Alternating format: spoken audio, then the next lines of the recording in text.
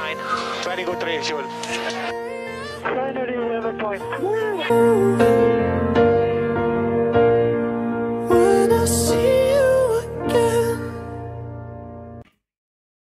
Hey guys, welcome back to the Jules Bianchi Tribute Career Mode, and in this episode we head over across the Atlantic Ocean for the Canadian Grand Prix taking place at the Circuit de Gilles Villeneuve, a circuit that's hosted many classic races over the years. For example, the 2011 Canadian Grand Prix, which has been my favourite race of all time that I've ever watched. So let's see if we can generate another classic race today.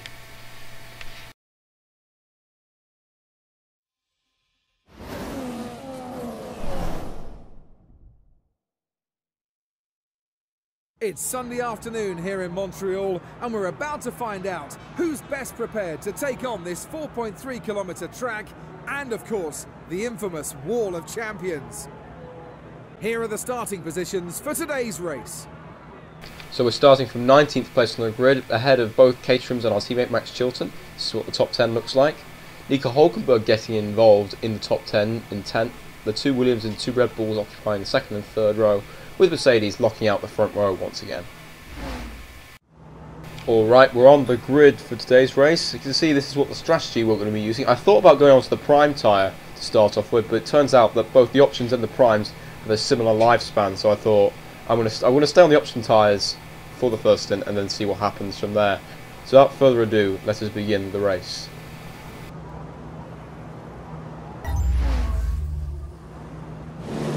See if you can get sixth or above in today's race. Lights out and away we go in Canada. We've got a pretty good start off the line there as we've just passed the Sauber of Esteban Gutierrez. We're now going to cut to the inside line of the track because none of the cars seem to cover the inside line. But at, the same time, it is a very tight entry into the corner. So we do compromise our exit coming into, or our entry point into turn two and our exit of the corner. Hence why Jean-Eric Vergne was managed to, managed to repass us and we're back down to 16th place, only gaining three positions off the first two corners.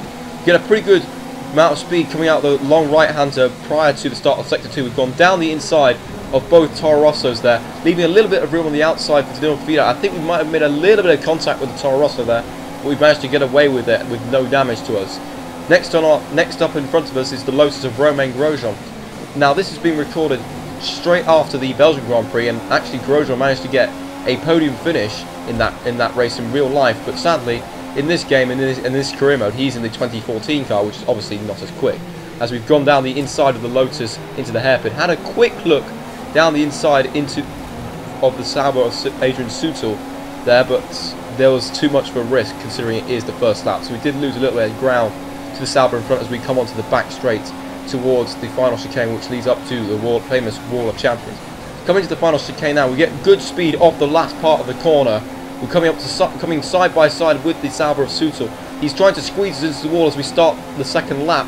Well, I think we're going to go down the inside. Yes, we are trying to cover him off to ensure he doesn't make the move stick around the outs inside of the turn two. But we've gone overcooked it into turn two, going wide there, and Sutil has managed to repass us back into 12th place, and we are down rele down relegated to 13th. We get try and get a good drive off the chicane, but there's not enough room, so we weren't able to take advantage of that just yet.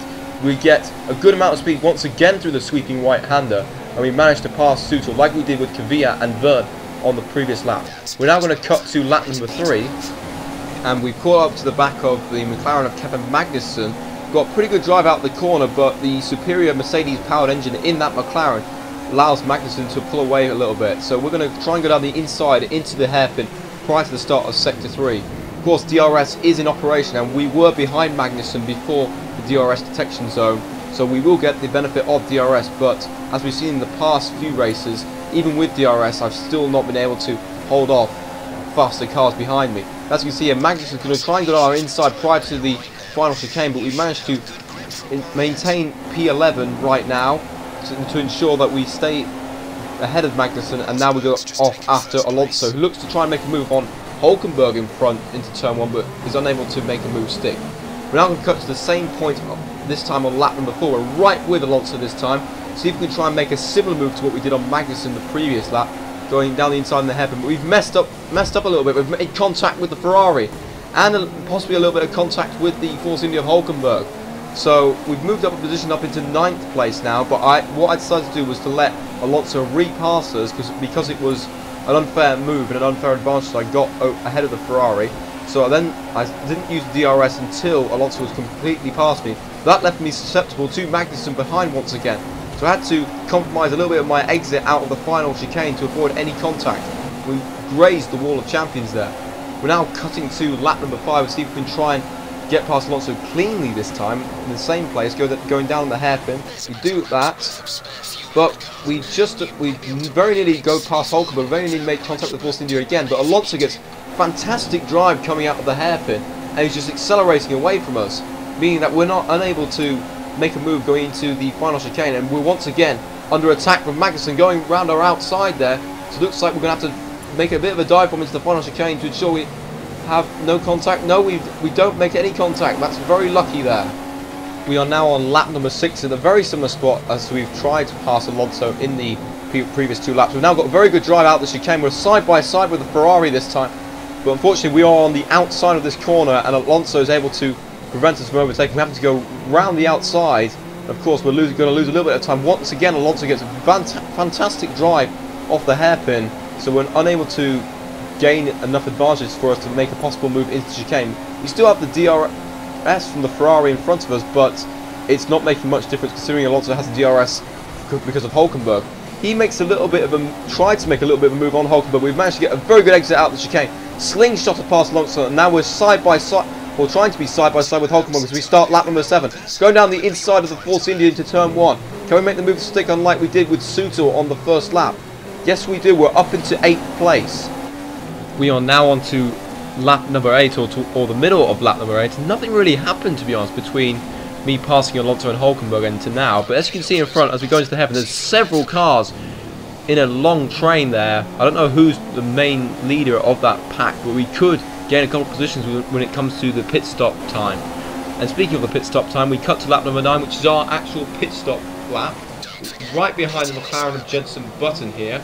He's not going to be pitting until the next lap, so we're going to try and stay as close as we can to the McLaren without actually passing him, so we can make maximum impact of the undercut using the fresh tyres coming off the back straight. We're in the DRS range of the McLaren, but I have to brake a little bit earlier than what I normally do to avoid hitting the McLaren.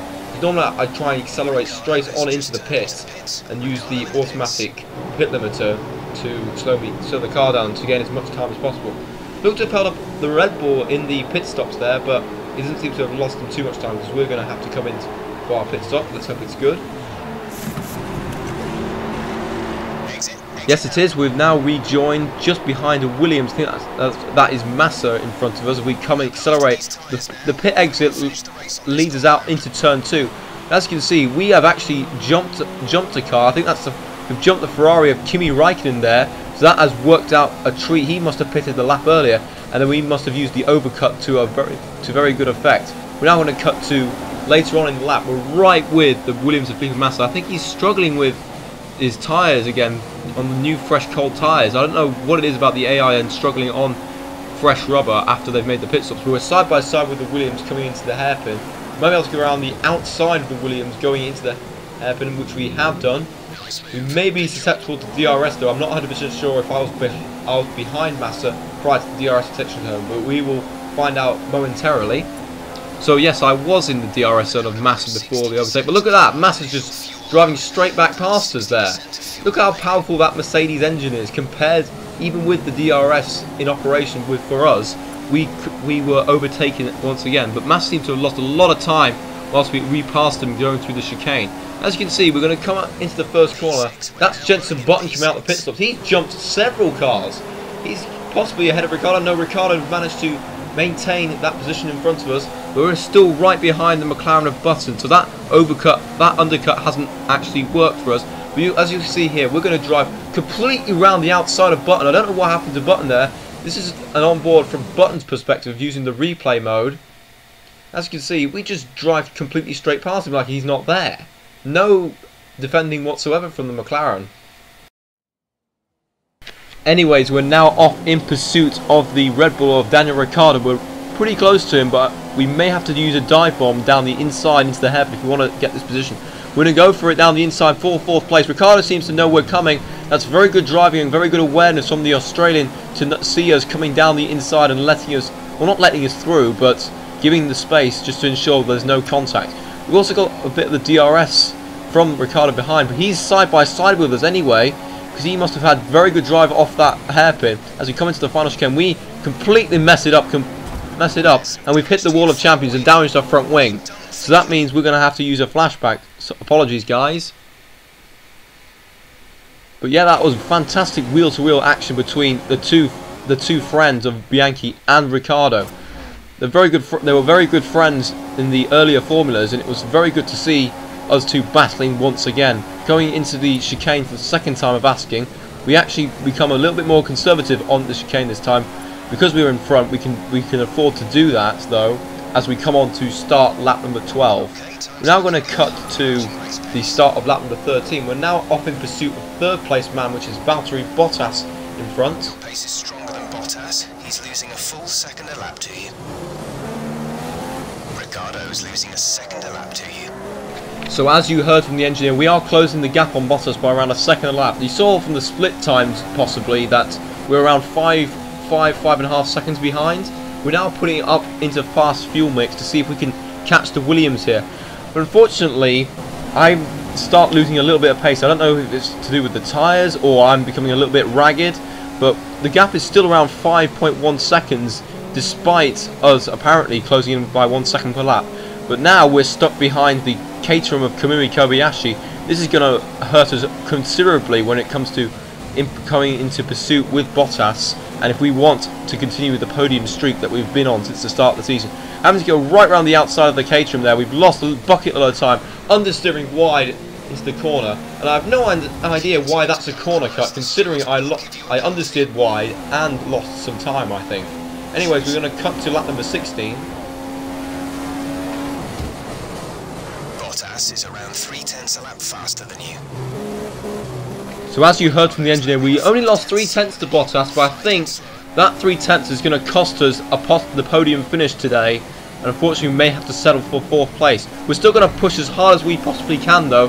We're now going to cut to the start, the end of the second sector of lap number 16. You're going to notice the split times here. We've managed to take out around about nine tenths. The gap is around about four and a half seconds now. So we're continuing to push extremely hard to try and close in on Bottas. We're now going to cut to the start of the final lap and we're going to see what the gap is. As you can see on the split times the gap is now down to 3.1 seconds and that's Bottas in the distance. It looks like he's got a couple of lap cars to overtake. I don't think he's that close to the Mercedes in with respect to this current race as we're going to come into the first sector. We're going to stay with this recording until the end of the race now to see if we can have a possible overtake towards the end as we come into the first sect end of the first sector where the gap is now down to around 2.9 seconds. So it looks like Bottas hasn't lost a lot of time just yet, but I think he's right in the slipstream of the back markers this time. So this is where he could possibly be cost the podium finish as we come into the very well the second last chicane of the circuit. As you can see, he's side by side with the car. I'm not 100% sure who that is. We're going to come into the split times now as we come into the hairpin. As you can see, he's lost 1.2 seconds there by overtaking that car. I think that's Gro that's Grosjean in front, but I think it's too little too late for us. We're not, going to be able to make a move on Bottas. He's just managed to get away from us, and he's got that barrier of Grosjean in between him and us. We come on to the final back straight of the race. Nico Rosberg has actually won his first race of the season, beating Lewis Hamilton to come into the final chicane. These two, these two Gutierrez and Grosjean are having a fantastic scrap coming on to the final, final straight and they're going to end up having to finish that scrap early as we come across the line in fourth place.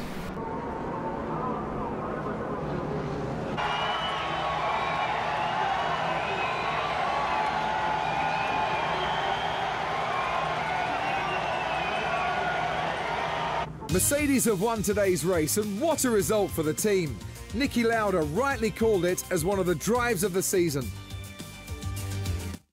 Confirmation of the race results, Rosberg in first, Hamilton second, Bottas getting his first podium of the season in third, us, myself in fourth, Massa fifth, Ricciardo in sixth, Raikkonen in seventh, Jenson Button down in eighth, so the pit stop strategy didn't work out in the end. Vettel all the way down in ninth, that's not very good for Red Bull in their battle with us, and then Fernando Alonso taking the final points in 10th. Max Chilton finishing all the way up in 17th there, that's a very good result, and Marcus Ericsson is the only retirement of this race. We're now going to cut to the Drivers' Championship. I think we are still in second place. Yes, we are. We're now 40 points behind Lewis Hamilton. Ricciardo's moved in front of Vettel after outscoring him in today's race. There's no changes anywhere else in the championship right now.